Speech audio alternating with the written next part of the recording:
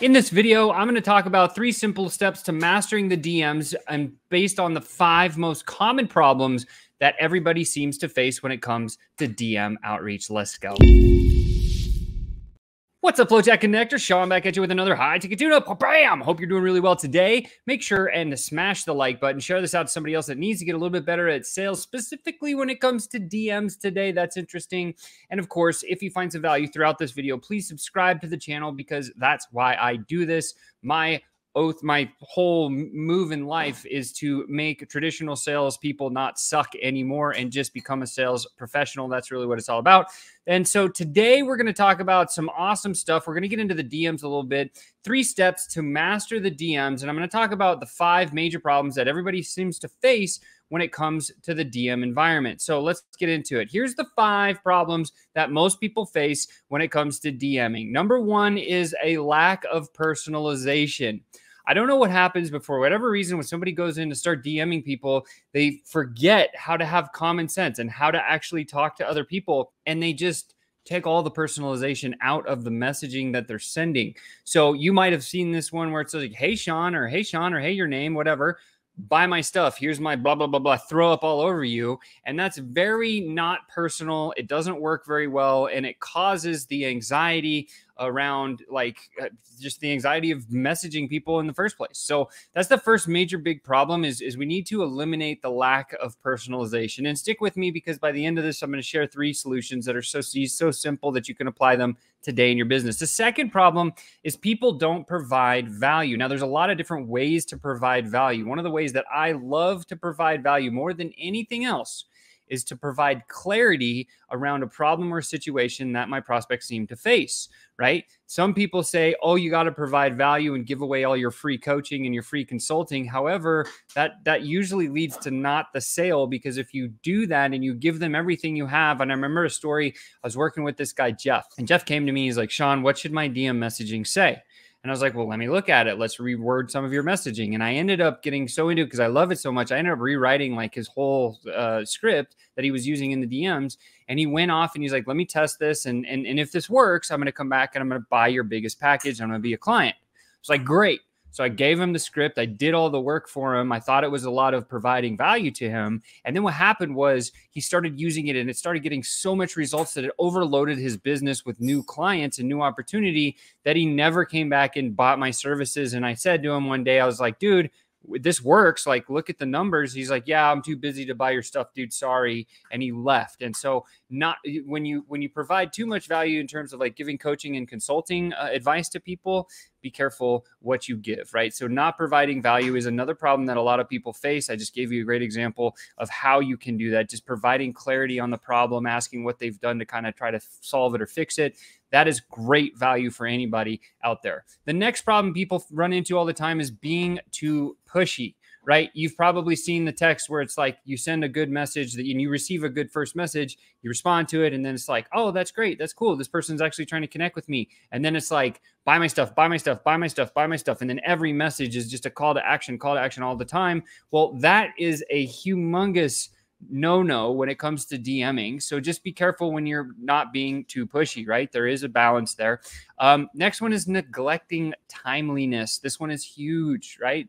Money is in the follow up speed and money equal the same thing, right? So speed equals money and follow up equals money. Then we need to be speedy when we do our follow up work in order to not neglect timelines. It's very valuable to be aware and actually be able to respond in a quick fashion to people when they message or reach out to you. And the last big problem that most people face is they just ignore doing any follow up. Chris, our CEO, came to me the other day and he said, Sean, I was talking with this company who uses another Autobot chat program. We're not an Autobot chat program, but they use a different type of software to do auto responding and some of that stuff right off of their Facebook page. And um, what happened was, is he opted into a couple of these people using the software, and he got a first great message that was awesome. And then he waited to see two, three, three days, four days, five days, six days, and he never, ever, ever got any more follow up from that prob person. So remember, there's a couple of key things that you want to remember. 60% of engagement comes at four touch points. So if you don't have four touch points in your process, like get them, right? 80% of sales deals are closed at 13 touch points. So again, if you're trying to close business, I'm a sales minded folk person, not a not a marketing minded focused person. And so I know that 13 touch points in a process for sales is is kind of like the key baseline where you want to start, right? So these are the five major problems and let's talk about the three steps to solve and master the DMs, okay? Number 1, develop your voice. This is such a big thing, right? Don't try to talk in someone else's voice. Don't try to be somebody else. Don't even use ChatGPT until you kind of have identified your own voice. Start by understanding your brand's voice. What are you trying to achieve? What are the things you're trying to do? Is it casual? Is it friendly? Is it more formal? Is it professional, right? Your DM communication should reflect the personality of your brand. This will ensure that your interactions are consistent and memorable, and practice writing short, concise messages that still sound like you, right? Remember, a DM's a conversation, so keep it natural and personable. Don't try to push or do any of those five problems that I just listed. So that's number one is developing your voice. Number two is you need to listen and respond. No coach, no book, no service, no program, no mastermind, nothing is going to tell you what to say and get it right every single time right? I don't care if a coach says if you do it exactly like this, and you say the exact words that I say, you're going to get the right results. That's not true right? In some cases, it might work, but majority of the time, it's never going to work. The best feedback that you can ever get from for any of your stuff that you're doing is listening to the people you're talking to. Listen to your prospects, listen to your customers, et cetera, et cetera. We prefer going into a cold market. Why? Because a cold market is doesn't have any emotional tie to you, and they're very quick to give you constructive feedback. Now, it may hurt, it may not feel good the first couple of times. That's fine. Like that, whatever it is, it's just what it is but just I listen to those things and then I tweak my messages. And sometimes if I'm in the cold market messaging a prospect, I'm saying, well, hey, look, like if you had this software business, what would be the first message you'd say? Sometimes people give me a message they would say, sometimes not. What's great is if they do give you a message, you can use that message and say, "Okay, let me re- let me try it again," and then you send the exact message they sent to you right back to them, and then they're like, "Ha, huh, you got me right." So really interesting to play off the responses that you're getting, but you need to have two ears and one mouth when we're doing sales work or messaging work, and we need to use that in proportion. It's very very valuable, right? So listen to what your audience is saying, answer their questions, acknowledge their concerns, provide value in your responses that you're giving to them, and people will come back to you. It works. the The law of reciprocity is a real thing. The more you listen and respond appropriately, the more rapport and the more trust you're going to build and the more long term success you will have for your brand right? This doesn't apply if you're just going for a quick buck. This does apply if you're trying to build a very strong business foundation and grow your business.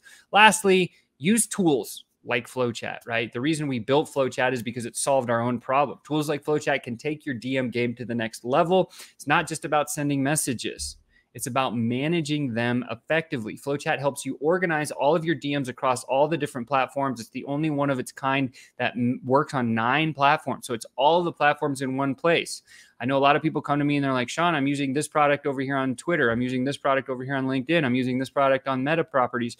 Well, that sucks because now you have all these different product places. You have to go log in, check things, do it all. What if you could just have one, one that did everything? That's what FlowChat gives you the ability to do right from the start, right? It also assists in identifying conversational patterns and optimal response times, which can be crucial for engagement in our pipeline view, you can set up timed responses of when you're going to go back and check on people. Usually 24 to 48 hours is a good timeline for you to connect to check on a message kind of a thing because most people are busy, especially business owners, right? Finally, we've continued to dump AI tech right at your fingertips. It provides suggestions on what to say next, making sure you always hit the right note.